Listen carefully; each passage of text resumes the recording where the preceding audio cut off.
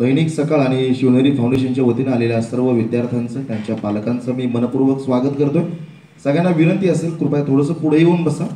मागे बसलेले जे आहेत त्यांनी प्लीज पुढे चौथ्या पाचव्या रांगेत येऊन बसावं.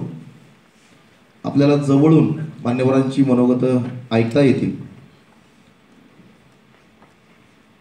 आणि अजून जर तुमचे मित्रमैत्रिणी बाहेर असतील तर त्यांना फोन करून सांगा. कार्यक्रमाला आपण सुरुवात करतोय.